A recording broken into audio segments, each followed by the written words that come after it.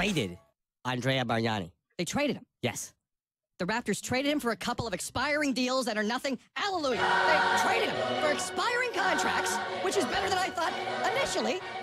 And what a move.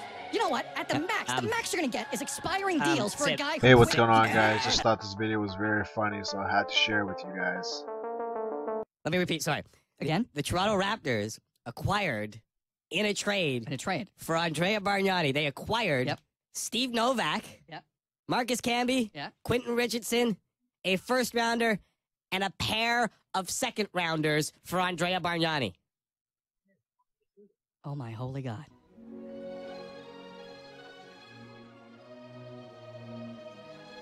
Is that?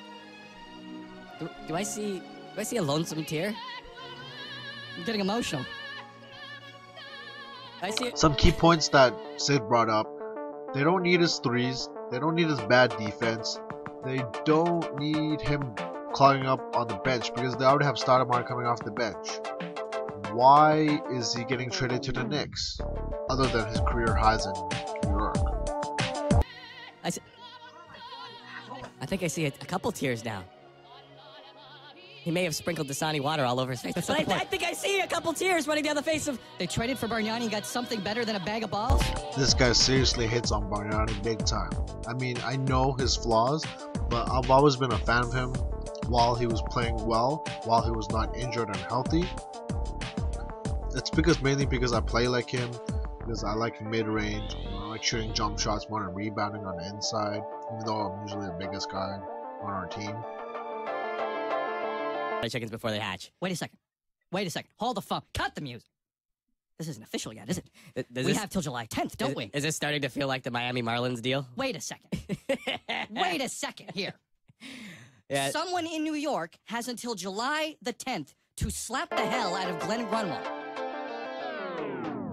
That's right, there is some time in between for someone to disapprove this trade in either organizations, but I feel like this is a really good trade for both sides from the player's standpoint of Bargnani.